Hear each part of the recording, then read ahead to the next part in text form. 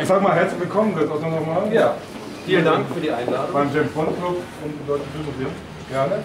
Wir freuen uns, dass Sie da sind. Ihre Fans sind schon da. Und ja, ich denke, wir haben nachher noch ein bisschen Zeit, über die Filme zu sprechen. Wenn Sie jetzt Zeit haben, nach unserem ein Stückchen trinken, können wir natürlich auch noch dann ähm, für ein paar Fotos. Sehr gerne. Leute. Wir haben ein paar Autogrammfotos vorbereitet hier Super schon. toll. Und dann machen wir das so ein bisschen entspannt, bis wir dann nachher wieder zum Kino gehen. Ich hoffe, alles bisher gut. Ja, wunderbar. Tolles Museum, wirklich. Also äh, ich kenne es noch von früher, weil ich habe um die Ecke dort gerudert bei der Frankfurter Rudergesellschaft Germania. Also, das sieht man auch. Ich. Lange her. Da hat sich auch viel verändert seitdem, muss man sagen.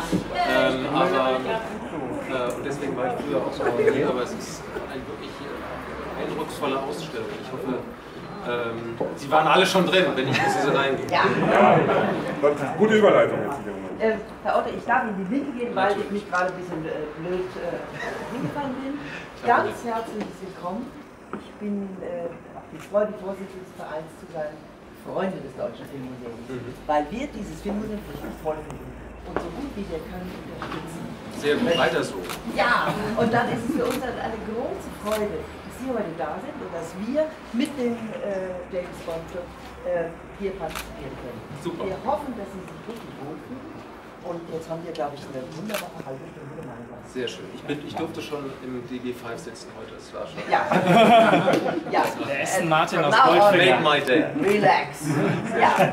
Dankeschön. Was Sehr darf zu trinken sein? Ähm, eine Schorle. irgendwas. Schade, alles Ach, er kriegt immer eine Schorle. Genau, im Kino geht es dann um 20.15 Uhr los.